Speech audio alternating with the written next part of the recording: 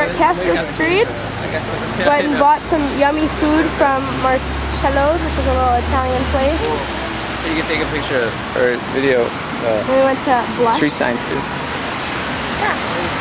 Now we're going to. Are we gonna drive? Now we're going to. Now we're gonna go to Twin Peaks. Alright, we're heading back to the car. Toodles.